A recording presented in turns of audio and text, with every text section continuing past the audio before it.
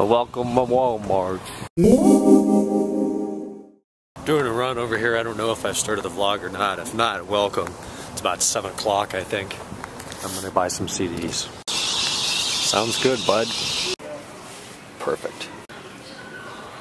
Oh, it's so pretty. I like electronic. I love this part of the store. There's a lot of cheap shit in here, but the good stuff, they have good stuff too.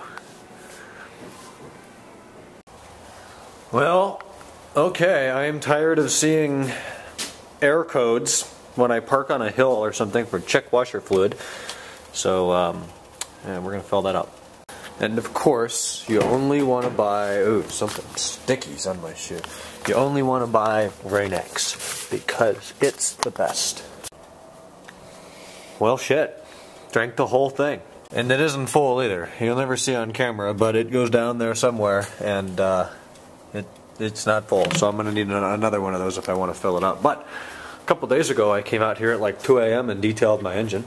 So now it looks really nice. I did the uh, oil return hoses, the top coolant hose, the air boxes, all the duct work into the intake there, mass, mass airflow sensors. I didn't get to the uh, rocker covers yet, but cleaned up around here a little bit, the strut towers and the air filters up there, and I think it looks pretty decent. 1045, the usual nightly activity, and uh, message here with like five open chats.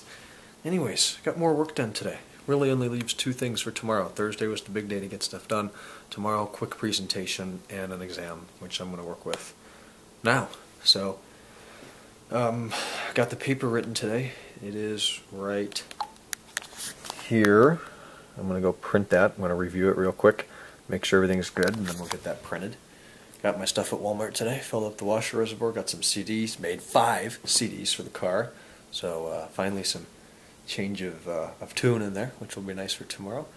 Tomorrow is Thursday already. This week is flying by. So we'll get tomorrow done, and then it's smooth sailing Friday.